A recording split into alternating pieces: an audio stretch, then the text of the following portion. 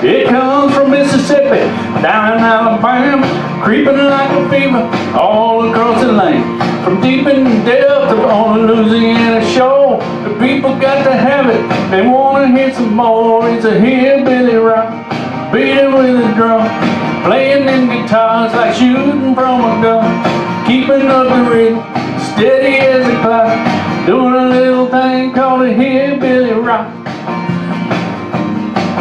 Some say it came from Memphis, down in Tennessee, or it drifted in from Georgia by 1953. As long as it's greasy, as long as it's fast, as long as it's pumping, honey, it's gonna last. It's a hillbilly rock, beat it with a drum, playing them guitars like shooting from a gun, keeping up the rhythm, steady as a clock, doing a little thing called a hillbilly rock.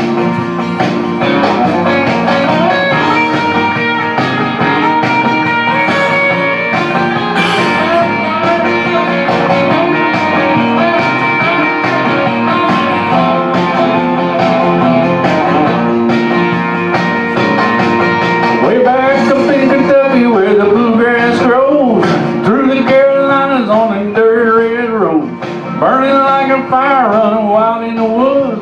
From Arkansas to Texas, it sounds so good. It's a hillbilly rock, beat it with a drum Playing them guitars like shooting from a gun. Keeping up the rhythm, steady as a clock. Doing a little thing called a hillbilly rock so when the heat starts to rise and then you gotta blow some steam, take a ride down to the river. You'll see just what I mean.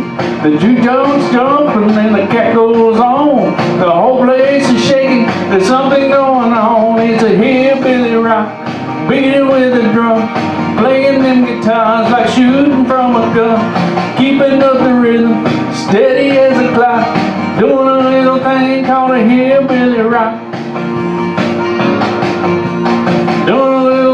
Thing called hillbilly rock. Doing a little thing called a hillbilly rock.